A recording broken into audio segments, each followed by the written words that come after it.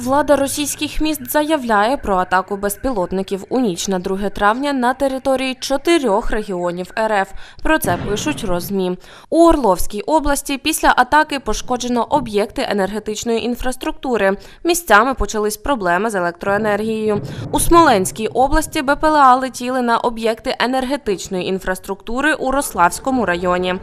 На місці події працюють екстрені та правоохоронні служби. Наслідки невідомі. Безпілотники атакували також і Авпінський НПЗ у Краснодарському краї. Як намагаються переконати росіяни, БПЛА збили або посадили на підльоті. За словами місцевих, було три вибухи в районі третьої ночі.